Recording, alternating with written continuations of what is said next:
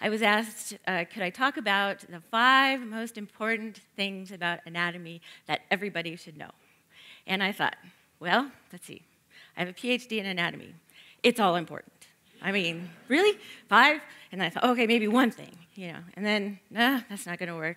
So, how about, you know, maybe instead of doing that, I think about what kinds of questions do people most often ask me? So that's kind of the direction that I've taken with this talk here. My main job is teaching A&P at Carroll College, and one of the things that I do on the side, meaning another you know 40 hours a week or what have you, is that I write anatomy textbooks and for McGraw-Hill education, and these are used all over the country. So um, this is a fun job, but it's also a big job. And when I tell people about this, usually their first reaction is, well, why are you writing a textbook about anatomy? I mean, isn't it all the same? Don't we know everything there is to know? Why do you need a new textbook? You know? And it's a very good point. You know, I mean, I watch old movies. I really like old movies. You look at the oldest ones, the first ones with sound and everything. You look at the people in them, and they got arms, legs, you know, noses. They'll look like us, right?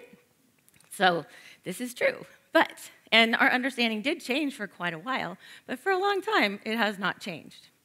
Uh, I'll tell you in a minute, though, that some things have changed. But you know, aside from the book itself, what has really changed are our students and the way that they learn. And so we adapt our teaching materials and our methods so that they match the way that our students learn. And if you just think about, you know, the accessibility of the internet and uh, digital materials, I mean, students can look at an atlas on an iPhone now and study anatomy. So uh, that's a big deal in terms of things um, changing. It's the, the, learners, not so much um, the material.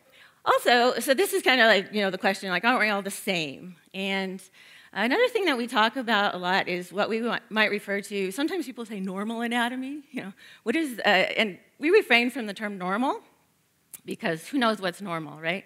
We, we kind of say expected.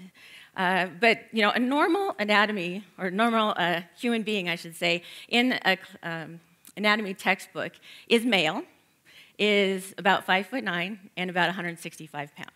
So raise your hand if that's you. So, okay, so we got a lot of abnormal people here, right? so that's why we don't like the word normal. What we like to use instead is the word expected. You know, this is the expected anatomy. So in the textbook, yeah, we put in what's normal. So your students are going to learn what is normal or expected anatomy. And here we're looking at muscles of the leg, and uh, the big, big muscle in the back of your calf here has been kind of cut away there. And uh, there's a tiny little muscle with this big tendon. It's beautiful tendon. It kind of looks like ribbon that you use to wrap paper with. I know I'm giving you some good, some good visuals today, right? Um, but this is often, this tendon is often used as a graft. So if you say mangle up your hands and you need a new tendon for to rebuild your fingers, they're often going to look for this muscle and they're going to take that tendon and use it to graft. Well, if you look at this, it's absent in 7% of the population. I mean, there's a, did you know that not everybody has all the same anatomy? Even when it comes to what we consider expected anatomy? And so uh, you kind of need to know first, if you're going to do that, uh, you know, transplant, that this person actually has this plantaris muscle and a plantaris tendon. Uh, similarly, we have, uh, here, these are the uh, forearms of a couple of my students that we just took this picture last semester. But there's another muscle in your forearm here. And you can actually test to see if you have it. It's called the palmaris longus because it's very long and it goes into the palm. And if you take your uh, thumb and your pinky finger and you put them together, extend the rest of your fingers, and then just slightly bend at the wrist, there's a little tendon there that'll just kind of pop up if you have it there. And how many people, if you do it right, sometimes it takes a little bit, anybody not have it? So there's one over there. Okay, uh, we found in our classes that, you know, well, so it's absent on average about 11% of the population. Uh, in our classes, it's almost 20%. And we happen to have a human cadaver that we use for uh, teaching, and our, and our students call him Al. That's their affectionate name for him. He has it on one side and not the other. So uh, it's pretty interesting stuff. And uh, really, what we're, uh, what I'm really interested in, especially in teaching, is teaching students to expect the unexpected. uh, that your book tells you one thing, but don't believe everything you read in there, which they really love to hear after they spent $200 on it or something like that, you know? so another question I get a lot is, well, what, is, what else is there to learn about anatomy? So you know there's, there's certain percentages of things that are expected and not expected, but there's nothing new to learn. And uh, that would be wrong. and ironically, uh, what I uh, put up here on the board is a study that was just done and just uh, published last year, 2015. And it was a study of the lymphatic system. Uh, lymphatic system isn't actually green, but we color it green in textbooks because you wouldn't be able to see it any other way. But here, uh, all these little green vessels, they're what are called lymphatic vessels, and they transfer fluid around your body, and with that fluid, a lot of immune cells. And so it's really important part of your immune system. If you've ever experienced a blockage of lymphatic flow, say a blockage in the, the uh, arm here, you would experience a lot of swelling or edema distal to that. So uh, it's a really important system that a lot of us don't know much about. But this is what current anatomy textbooks look like. I'm working on a third edition, and lymphatic system in the next edition of my book is going to have this in there. So these are lymphatic vessels in the central nervous system, and what they've shown now is anatomically that there are direct connections between the lymphatic flow in the central nervous system with the rest of the body. So we've got direct immune connections between nervous system and immune system, which is pretty cool. So is anatomy a dead science? No.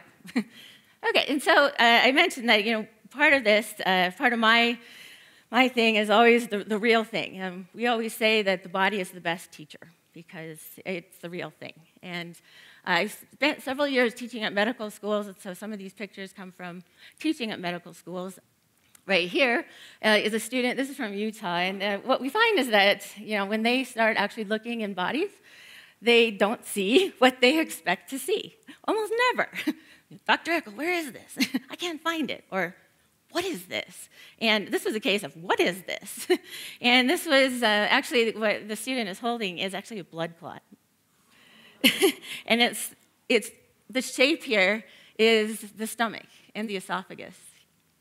And so uh, we you know, figured out from this that, oh, this person most likely had what we call um, varicose veins in their esophagus and they bled to death. And so we can determine kind of, you know, why did this person die and things like that, which are really kind of fun and interesting and very educational. Um, many, many years we just didn't pay attention to pathology and things like that.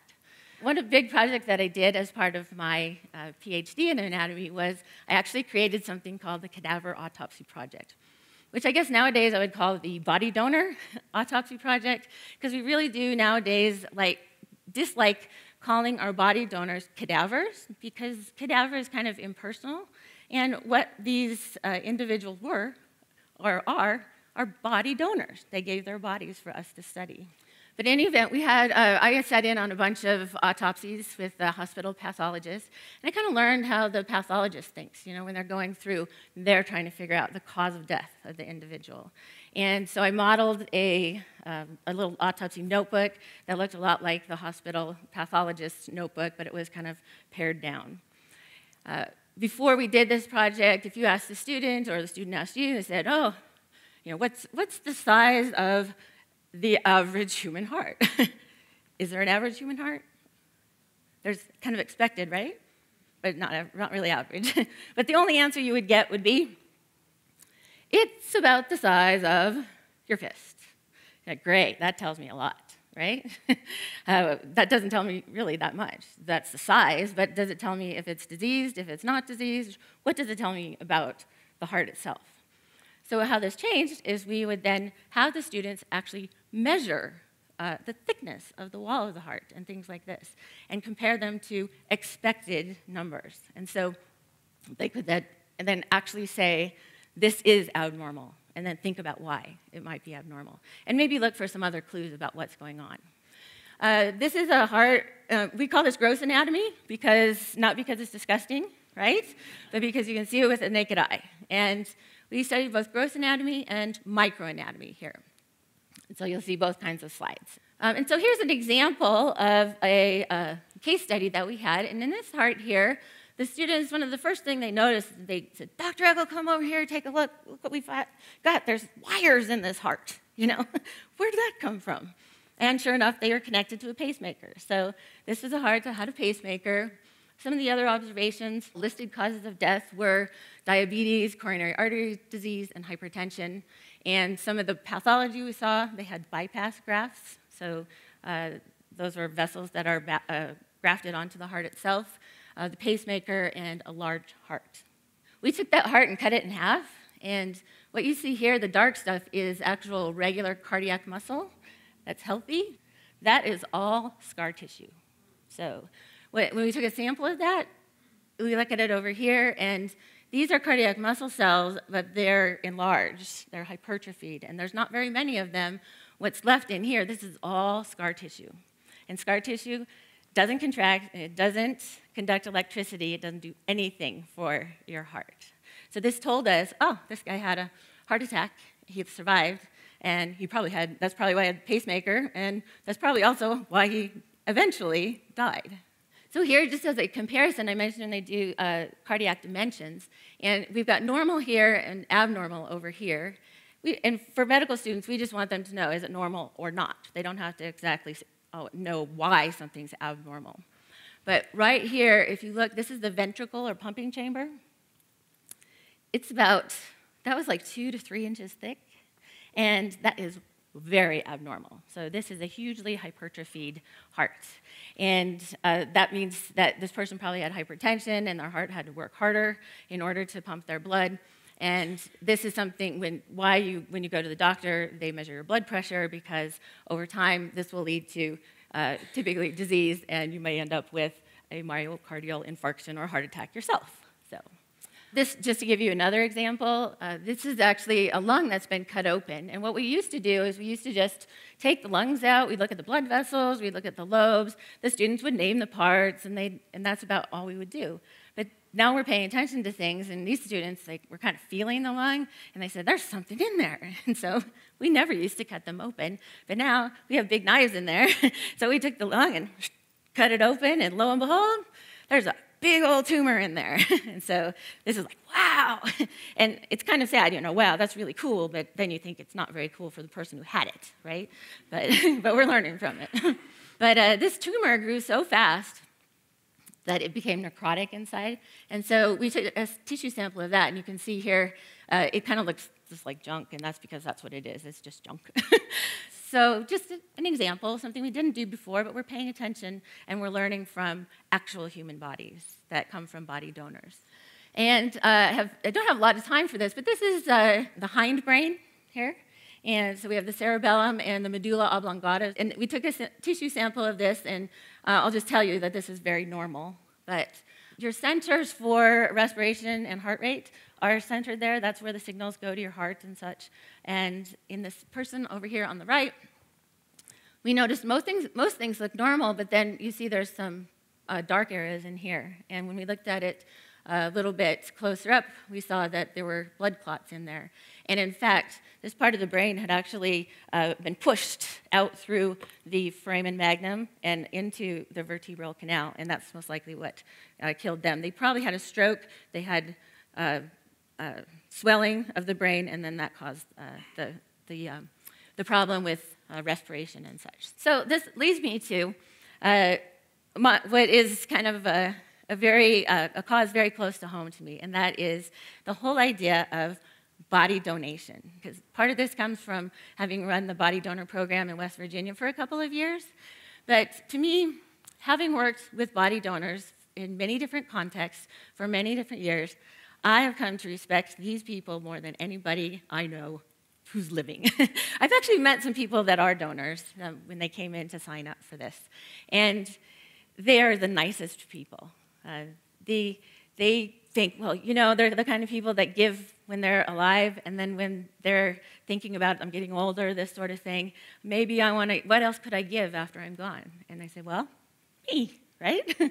and just so you know, if you're an organ donor, you're not a whole body donor. So they're separate things. And so, what we do when we work with these donors is, and particularly when we have them in the classroom, we teach our students the utmost to treat these people with the utmost of respect. We run clean labs, we don't allow jokes, those sorts of things. And then we actually, uh, most medical schools nowadays are doing memorial services. And this is a picture here from a memorial service a couple years ago in West Virginia. And uh, you see medical students sitting behind the stage, and they do a non denominational service. And sitting on the other side are all the family members of the donor. And so we have the medical students and we have the family members. And uh, the, and the best part about this, at the very end of the service, uh, is kind of an open mic session.